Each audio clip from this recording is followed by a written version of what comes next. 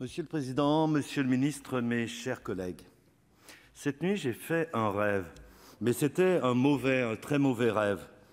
Rien là de très original en soi, c'était un cauchemar. L'insomnie et le sommeil perturbé sont malheureusement, en cette période faite de peur et d'incertitude, le, lot de millions de nos concitoyens.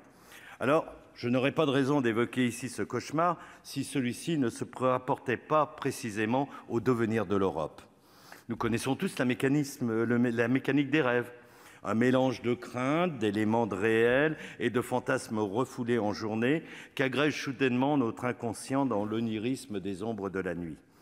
Dans mon rêve, ou plutôt dans mon cauchemar, la paisible galaxie Europe était soudainement percutée par un astre noir, une terrible pandémie portée par un virus inconnu qui déferlait sur tout notre continent et bien au-delà une panique des populations attisée par de piètes prophètes de France et de Hollande, oui, la Hollande, cet autre pays des fromages, conduisait notre pays à fermer ses frontières et choisir de quitter l'Union européenne. Le tout accompagné de surréelles scènes de Frexidor en liesse, sortis dans les rues, un verre à la main, pour célébrer la fin du diktat de Bruxelles et de la BCE. La France éternelle reprenait ainsi le contrôle de son destin, de même que les dizaines de milliards d'euros versés annuellement à la Commission, moyens qui naturellement allaient être alloués désormais à notre système de santé qui, tel un chevalier blanc, terrasserait le dragon.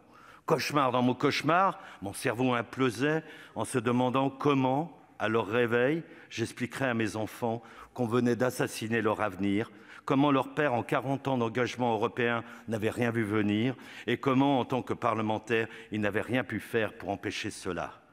Mon réveil en sursaut mit heureusement fin à cette ignominie.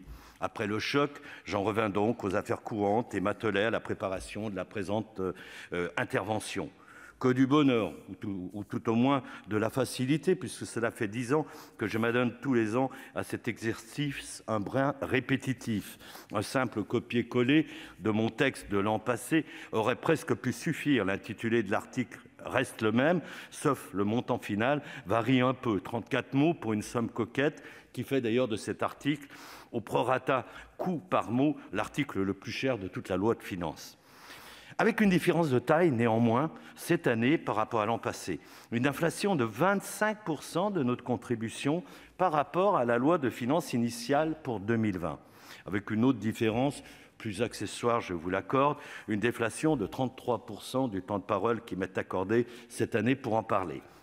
Les raisons de cette augmentation de 5,9 milliards d'euros par rapport au montant exécuté en 2019 ont déjà été explicitées, bien explicitées, par les orateurs qui m'ont précédé. Je n'y reviendrai donc pas. Reste que cette somme est coquette et ces nouvelles poignées d'amour, certes séduisantes, touchent néanmoins à notre portefeuille et il est bon d'en avoir une pédagogie augmentée auprès de nos concitoyens afin d'éviter les chimères malveillantes qui pourraient en résulter.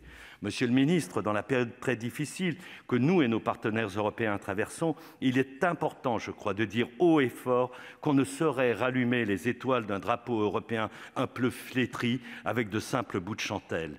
Il est important de dire et de redire tous les bénéfices que notre pays tire de son appartenance à l'Union, de manière directe, indirecte, mais le plus souvent invisible, notamment au regard d'une comptabilité budgétaire qui ne rend pas compte des retours et des externalités positives engrangées. Monsieur le ministre, cela fait des années que je réclame en vain à vous et surtout auprès de vos prédécesseurs la production d'un rapport annuel précisant tous les apports économiques que nous confère l'Europe. Cela devient urgent et c'est parce que les gouvernements successifs du Royaume-Uni s'y sont refusés qu'ils ont ouvert la voie aux discours qui ont conduit au Brexit. L'Europe a certes des défauts, mais ce n'est pas en rendant imperceptibles ses qualités que nous en préserverons l'avenir. Je vous remercie.